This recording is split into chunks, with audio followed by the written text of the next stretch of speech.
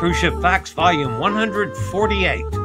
Celestyal Discovery, now on its maiden voyage, took over the schedule originally announced for Celestyal Olympia. Did you know Celestyal Discovery was originally Aida Aura and first entered service in 2003?